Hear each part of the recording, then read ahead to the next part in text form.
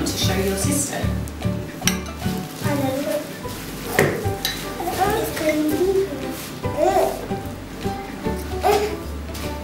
Lilah, do you want to put your finger in it?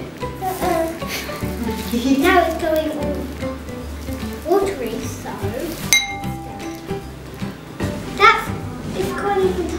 Yeah, so that's what will happen if you mix this a little bit longer. Uh. Let me just try and get a bit of this because I think I'm going to get a big gloop of it. You're still melt. It goes hard. Can you see? It's going like a, it's going like a solid ball, and then if you let go, it goes gloopy again. If you hold it.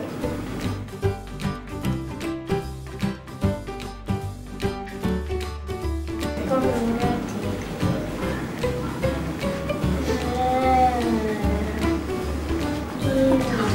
it cold or scared? Oh. It's really fun to get. Really good. Hmm. I don't want to do it anymore. It's great. You've done so well.